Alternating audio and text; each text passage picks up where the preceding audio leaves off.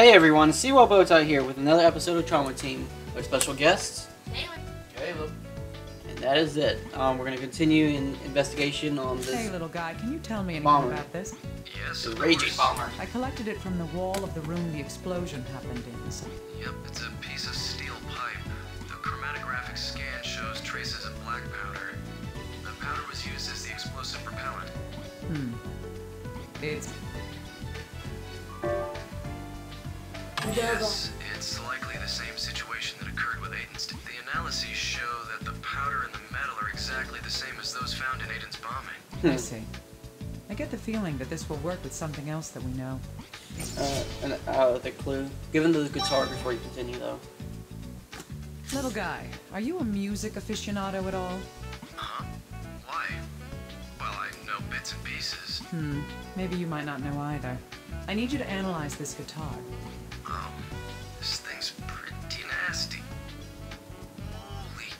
What's with you? Dr. Kimishima, where did you find this? Wait, more importantly, how did this happen to her? Her? It was in the victim's room. Stephen's, that is. Then the the neck was broken in the explosion? Probably, yes. Son of a bitch. The raging bomber's gonna pay. Hey, calm down. What's wrong? I, I, it belonged to musical legend 1955 Dagmite model. Ugh, I don't understand. Is that instrument valuable? it's beyond valuable. Finding this is is a miracle. Normally, I'd have it sent to the museum immediately for safekeeping, but oh, damn it. Uh, Oh, what? Doesn't this get to you, Doctor? mm, no, not really. I mean, it's a broken guitar. Oh, you don't understand. Listen to me. If this was ever on the it would go for seventy to eighty thousand dollars. I wouldn't be surprised if bids went over a hundred grand. That's impressive. Ah. Now it's personal. Oh my gosh. Dr. Kimishima, we have to Oh this my gosh. bastard. I mean, this killer behind bars. Yes.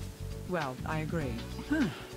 In any event, a guitar worth more than a $100,000. That's not the kind of thing an ordinary student would be able to afford. Mm-hmm. Perhaps I should have him look at it once he's calmed down a bit.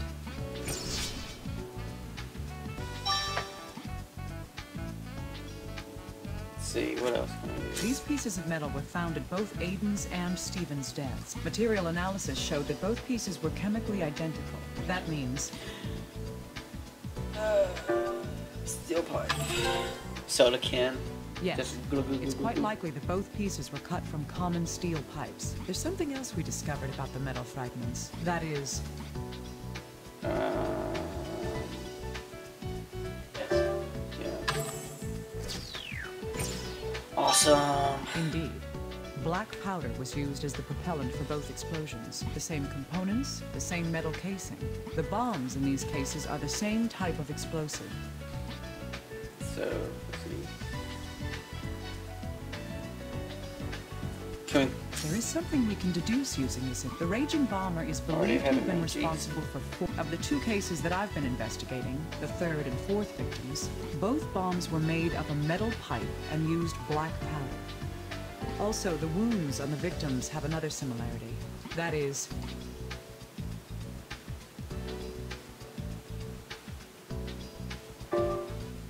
yeah. yes, the wounds on the bodies help us determine the strength of the explosions. It turns out that both corpses had almost the exact same wounds.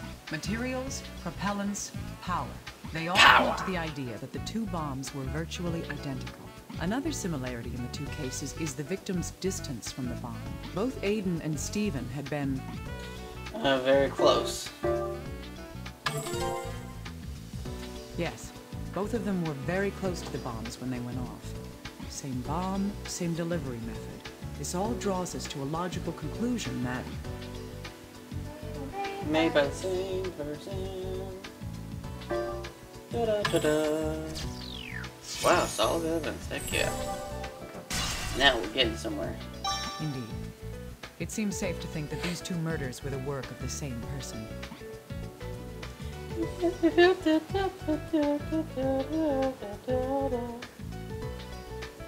What's the dead? Little guy, can I borrow you for a moment? Okay. Yes, of course. Can you take a close look at this guitar? Of course. I am a professional after all. I can be impartial. Please do, then. What can you tell me about it? There's not much I can say other than. Oh, wait a moment. Found something? Yes. Was played by someone other than Ben Frank. Hmm, so what does that mean? Is the guitar a fake? No, of course not. The scratches, the wear, everything says it's the real deal. But Ben Frank is right-handed, and this guitar has been said to be played by someone who's left-handed. The Yeah, yeah. guitar's set for a left-handed player? The difference between right and left-handed guitars is... Uh, the oh gosh, the strings orders, isn't it? Yes, the string order is You would know reversed, that, of course. depending on the Yeah. dominant hand. You always put the, um, is it the thicker one at the top? The thicker string is the one that's closest to your head, while the thinner ones are closer to the floor.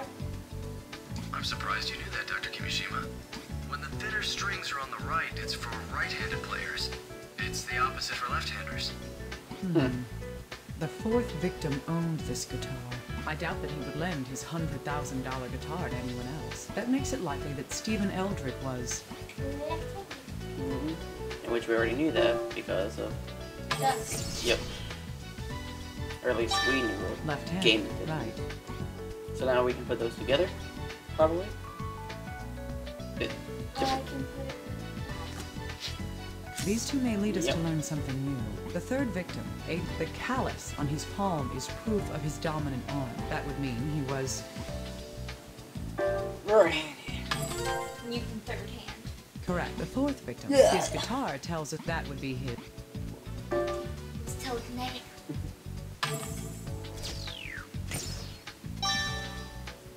Yes, the guitar had been strung for a left-handed player. The famous musician So they're using the guitar dominant belonged hands. What are they doing to get too close to something? If anyone were A to change package the to strings, open. it would be thus we can reason that Stephen know Eldred was himself packaged, it's just left-handed. that we haven't gotten the evidence to. I wonder if this difference will be any help in this investigation. Or if they someone delivering it and signing off on something. If there was carbon dust on like the sign off paper. Ah, true. Um, let's see, what else do we have? Hmm. I think these may help it. Both the third and fourth victims had carbon dust on their fingers, but the locations of the dust are the major difference between them. On the Because other hand, we learned about a difference between the two victims had different dominant hands. From these two facts, we can tell that the carbon dust was.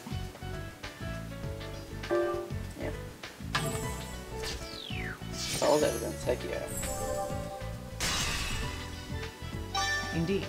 It was on each victim's dominant hand. I think we've gotten a little closer to figuring out the meaning behind the carbon dust. The computer chair. Computer chair or the um actual computer so you can like get into the computer. That's I need to try that. Hmm. Could this be the computer? That the, this may still have some. In- Let's power it up and. s- Alright. Is that the only thing you didn't do? The screen isn't turning on. It's not accepting any input either. Could it be broken? Take it to Little Goo. Little Goo. Little Goo. Little Goo Goo. One little thing. Must obviously look. There's something of electronic Sometimes use. All it takes is another perspective. Hey, little guy. The computer won't boot up? It was in an explosion. That doesn't really matter as long as we can. True. Yeah. Huh. Wait a second. Did you find something? Yes. The computer's fine. It's not starting up because it's locked. Is there any way to unlock it? Well, we could Yeah. try to force our way in, though there's a chance it'll wipe itself and we'll lose the data. It seems the victim was using voice authentication software. Voice. And we don't have his voice.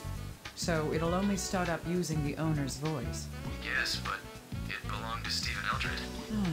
So it'll never start up again. Wow, okay. That was really fast, hard evidence. Dr. Kimishima? What man? Who? Oh, uh, Michael Lang. Hero. So that is a real company. Is that his real name? Yes, though what he does is barely considered legal. Huh. If that's the case, is there the slightest chance that he's the bomber? Have. Well, we Even if he isn't the culprit, he can at least tell us more. There's no reason to not listen to what he had to say.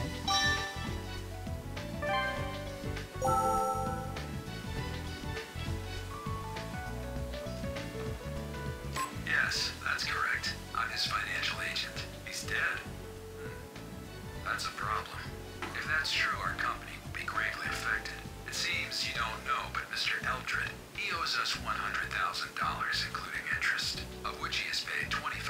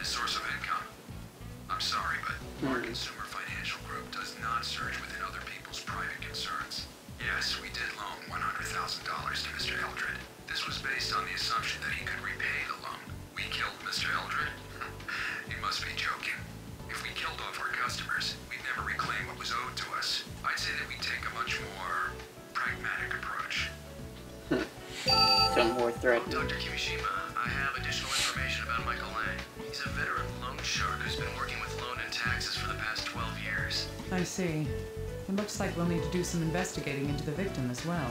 You mean Stephen Eldred? So what was he Right. doing to get money? He doesn't fit the pattern of the previous bombing victim. For example,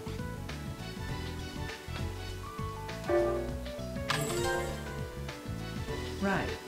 He's the only one who wasn't particularly well He's making a lot of Why money, would the though. bomber target him at all? If we can figure out why, I think we'll see a great deal of progress in this case. There's more to it than that, though. The victim himself made some unanswered questions. According to Michael Lang, the man from Loan and Taxes, Stephen was $100,000 in debt. The reason for that is Five or yeah. Pay for his way then. that's a likely possibility. The value and the amount he owes fit together. Still, how can an ordinary student get such a substantial loan? The reason must be because Mm, that sounds right, but at the time, yeah, okay. That's the only reason you would get it. Indeed, there was a deposit made to his account. A large one, of unknown origin. That was why the loan shark accepted his means of repaying the debt. This led to Stephen being loaned the $100,000. The more we investigate, the cloudier the truth gets. Uh, Dr. Kimishima? Hmm, I'm listening. What is it? I've asked for another recording from HQ. A recording of what? That revolutionary guy. I thought it might be of some use to us. I ordered a copy of the announcement he made before Aiden Posner was killed. I see. I'll check it out. Alright. So the previous threat.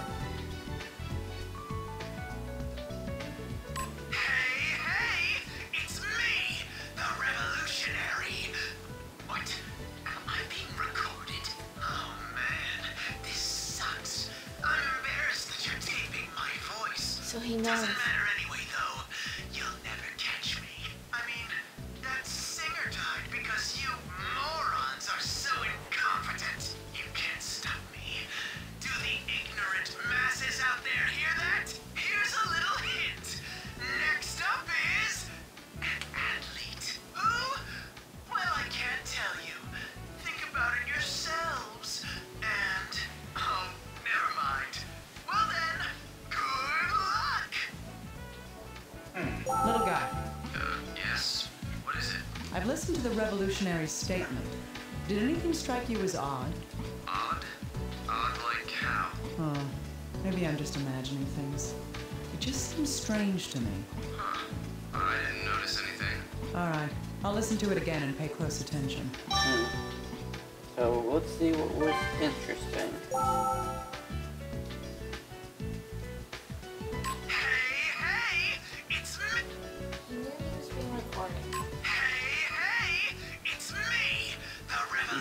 Forward, fast forward. Doesn't matter anyway, though. You'll never catch me. I mean, that singer. Here's a little hint. Next up is an athlete. Who? Well, I can't tell you. Think about it yourselves. And. And. Um. Yes, this is the place. It sounds like he was rushed at the end of his statement. I wonder why. Wonder what was happening. We need to figure out what was going on at that moment. It's kind of hard to know. But let's go to the computer and see. Hey, little guy. It does seem like something caught his attention and he wanted to finish quickly. Hmm.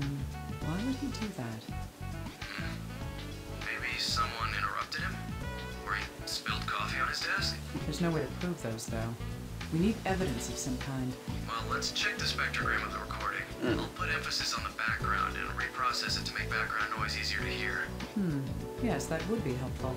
Send me the revised recording when you're done. Alright. You'll find the data in the recorder. Good. Let's listen to it again, and be aware for anything going on in the background. You hear that? Anything in the background?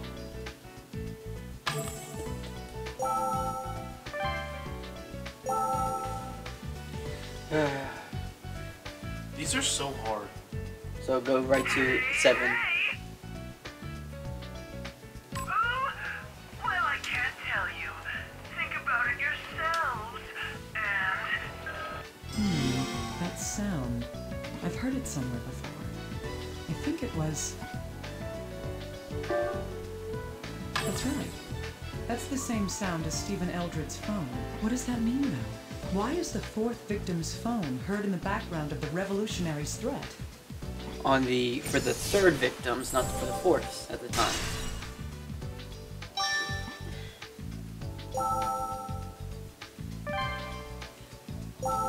Is he a repairman? Or is he getting info? Oh, Unknown message.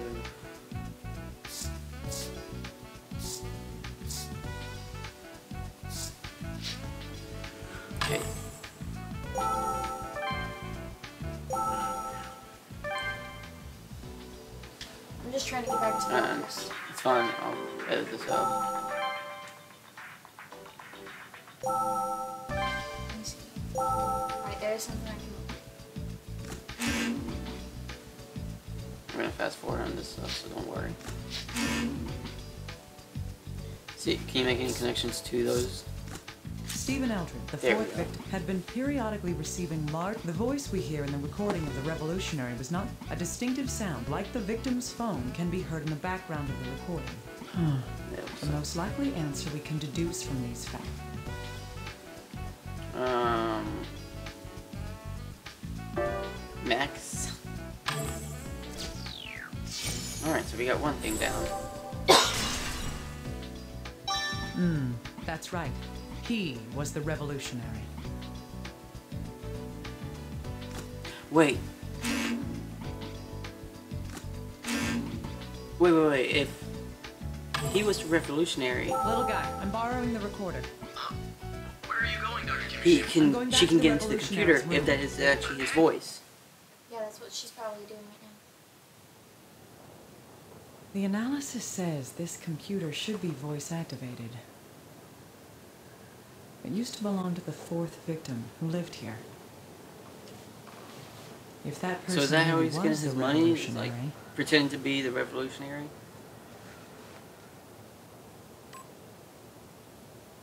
Hello? Hey! You listening? It's the revolutionary. Holy crap! So it's true. Also, I like that it's the company's name um, for the computer that's made this game. Made it this far. Thanks for double text. Show yourself, raging bomber. Here I am. I'm the Joker, baby. Wait, did you type that or? She. Oh. Oh, okay. I, I don't remember anything about this. I remember. Round two. So there's your. No need.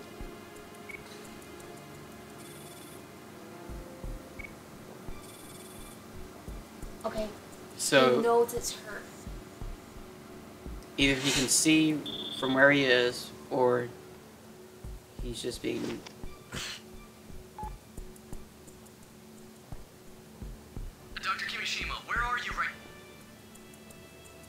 He got me. The bomber's someone else. Huh? Oh, what do you mean? We've got to start the investigation over from scratch. Ah. Tell headquarters not to let their guard down. Ugh, I've been completely fooled. How could I let this happen? could happen to anyone. Heck, I didn't realize until the very end. So I mean, Oh no. Not her. what? She's gonna Hello. Naomi. It's me. You guys are overthinking Hello, everything. Melissa. Wait, no, she's the bomber. What's wrong? You don't look happy. Did something happen? No. It's nothing. I'm all right. Really? Come on. I'm your friend. I gotta help you out. Thank you. You're a very kind little girl. The next one. Look in the next image. Excuse me, can I bother you for a moment? Of course. How may I help you? Do you know where I can drop a delivery for Dr. Kimishima? We don't know their gender. No. I'm Kimishima. We just know the take it. voice of who they hired to play as the revolutionary. Really? Perfect timing. Here's your package. Here's a package. Gabe? I wonder if it's the test results. Can you sign here, please? This is pretty low tech. What happened to the digital pads? I'm sorry, mine's broken right now. Anyway, thanks. Did you get something? Who's it from? Yes, it's from a friend of mine. Wow! Look, look, Naomi! A big-tastic teddy bear! Big-tastic. It's so cute! That's right. But why would he send me this? Good luck with your investigation. Carbon dust.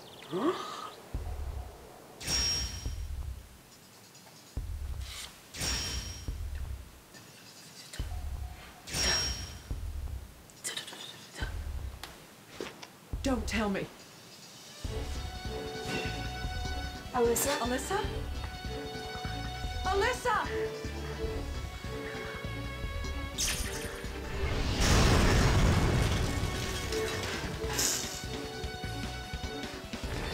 Alyssa! Alyssa! Dr. Kimishima! No, stay down! Let go of me! She... It's my fault! Music though.